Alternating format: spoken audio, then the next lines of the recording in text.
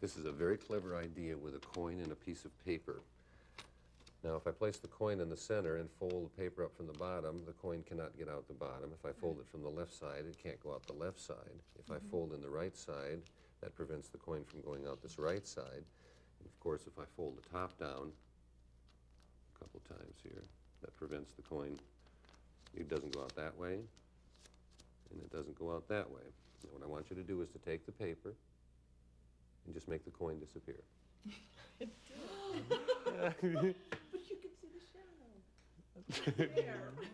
Where did it go? You did, look. Oh, look!